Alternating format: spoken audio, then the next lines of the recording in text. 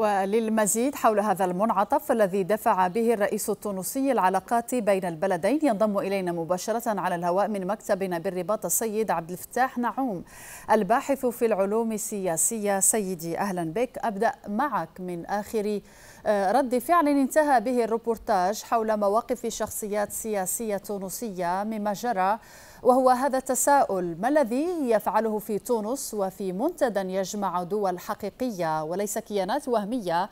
يجمع اليابان بالدول الإفريقية لمناقشة شراكتهما الاقتصادية. ما الذي يفعله زعيم ميليشيا انفصالية هناك؟ ما موقعه؟ تفسير ذلك أن هذه الدعوة هو والاستقبال هما لا لشيء إلا ليكونا عملا عدوانيا ضد المملكة كما أشار إلى ذلك بلغ الخارجية. أهلا وسهلا. هو بطبيعة الحال عمل عدواني وسلوك غير مسؤول وانزياح غير مقبول بالنسبة للدبلوماسية التونسية والسياسة الخارجية التونسية تجاه بلدنا بل أنه سقط آه، أو آه، نغمة نشاز في تاريخ تونس بأكمله. لأنه في الحقيقة منذ أن افتعل هذا النزاع في العام 75 تونس اتخذت موقفا واضحا تدعم الأمم المتحدة والشرعية الدولية وتدعم الوحدة الترابية المغربية. هذا لا غبار عليه.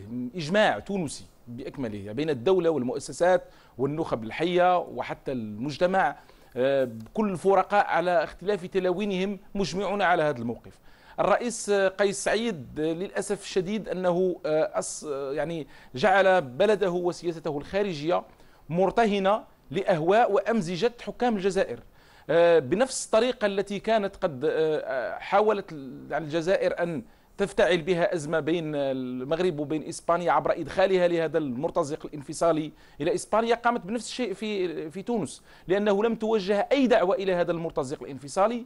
لا يوجد أي سند أو أي مبرر لأنه حتى المغرب حينما وضح في موقف وزارة الخارجية المغربية أو الرد على موقف وزارة الخارجية التونسية وضح مجموعة من المعطيات البروتوكولية الدقيقة التي تؤكد بالملموس أنه هذا الشخص لم توجه إليه أي دعوة وإنما كان كل الأمر عبث وتواطؤ بين الجزائر وبين تونس بشكل أو بآخر. كيف يمكن أن توجه دعوة إلى هذا الشخص؟ والقرار الذي صدر على القمة الإفريقية يوضح بما لا يدع مجالا للشك أنه المدعوون إلى القمة هم خمسون دولة إفريقية وليسوا من أعضاء الاتحاد الإفريقي.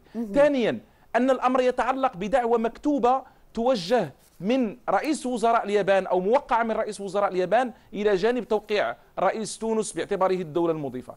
كيف يمكن أن توجه دعوة إلى هذا الشخص واليابان لم توقع أي دعوة له بل حتى البيان الصادر عن نعم اليابان يقول أنهم التنديد بما وقع لم يصدر عن الرباط وحدها كما تابعنا شخصيات تونسية كثيرة استاءت مما أقدم عليه الرئيس قيس سعيد. وأيضا دول مشاركة طبعا. في المنتدى دول إفريقية صديقة عبرت عن أسفها لغياب المغرب.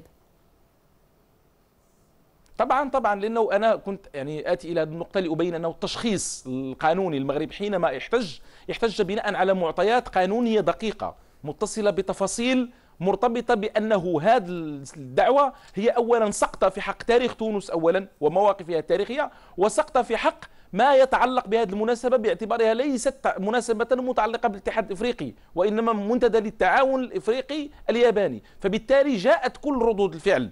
منسجمة مع هذين المعطيين. السقطة القانونية والسقطة التاريخية والدبلوماسية التونسية. لذلك شهدنا أنه الرأي العام التونسي بمجموعه الفاعلون السياسيون في تونس النقابيون أحزاب آه، فاعلون إعلاميون شخصيات آه، بارزة وزراء سابقون رئيس آه، سابق لتونس.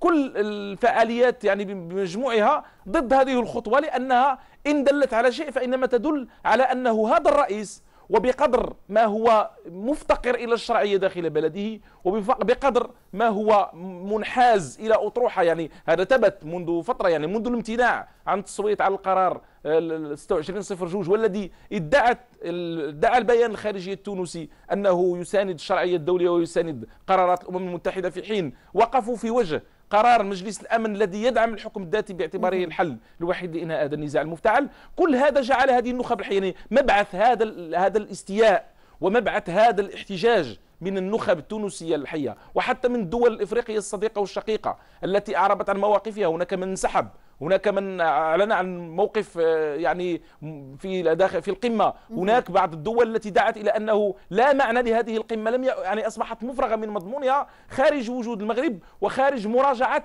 البروتوكول والتقنيات والتفاصيل. ثم هناك مسألة مهمة جدا لطالما شدد عليها المغرب. وفي الحقيقة تبين تؤكد مرة أخرى على سلوك الجزائر وعلى سلوك من تجرهم من على شاكلة الرئيس قيس سعيد. الذين أصبحوا لا يعيرون بالا ولا يهتمون مطلقا بالقوانين وبالتفاصيل وبما اتفق عليه. يعني يضربون عرض حائط بكل النصوص المنظمة لأي نشاط.